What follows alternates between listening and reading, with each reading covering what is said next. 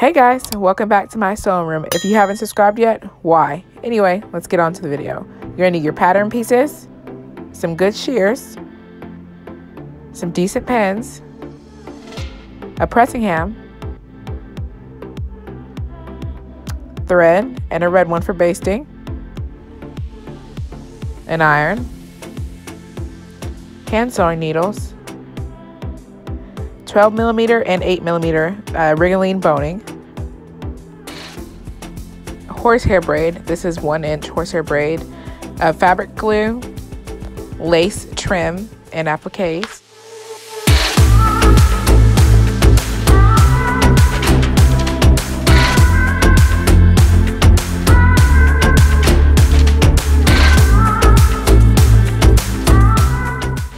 You're to use some satin. I use stretch satin for this. Also, you're to need some satin faille. That's what I use for the lining. You can use anything. I used muslin for the underlining. I interfaced with cotton interfacing. And I used tulle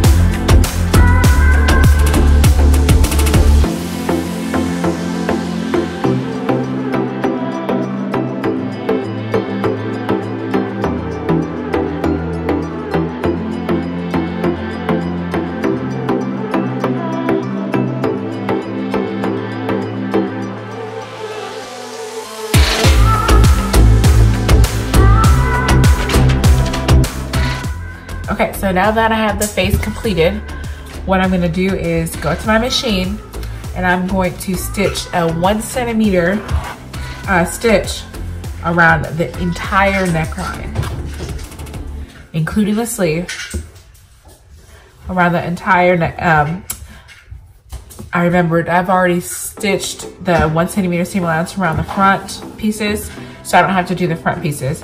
But the sleeve and the back, down the back and up the side, all that needs to be done.